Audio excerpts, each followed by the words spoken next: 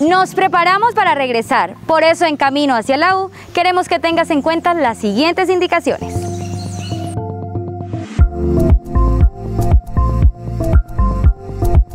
Evita viajar con personas que tengan sintomatología asociada al COVID-19. Usa el tapabocas siempre y cuando viajes acompañado.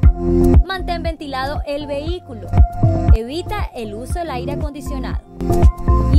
Superficies como cinturón de seguridad, timón, área de instrumentos, palanca de cambios y freno de mano. Limita a dos personas como máximo el desplazamiento en vehículo particular. En el caso de motocicletas y bicicletas, se debe desinfectar con regularidad el maniobro de estos medios de transporte.